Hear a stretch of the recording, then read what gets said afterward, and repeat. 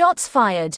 Chaos erupts as over 70 gunshots ring out in an Antioch, California party according to the Antioch Police Department.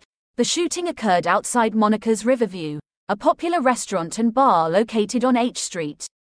The establishment had hosted an after-hours event called RNB and Chill, which attracted several hundred people. In the early hours of the morning, tensions escalated between party guests, leading to a physical altercation outside the restaurant. In the midst of the chaos, over 70 gunshots were fired, resulting in the tragic loss of a 45 year old Antioch man's life and leaving two women injured. The investigation. As of now, no arrests have been made in connection with the shooting. The Antioch Police Department is actively investigating the incident and following up on leads to identify potential suspects. They are urging any witnesses or individuals with information to come forward and assist with the investigation.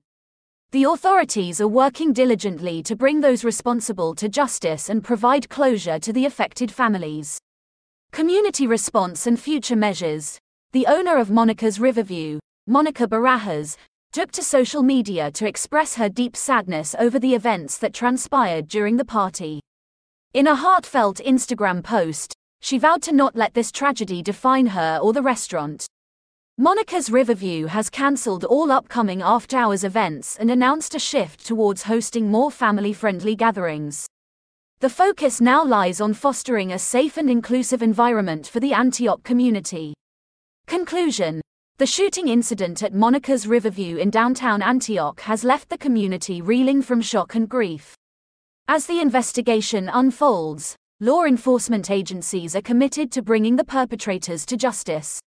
The tragedy has also prompted the restaurant owner to re-evaluate event policies and prioritize the safety and well-being of patrons.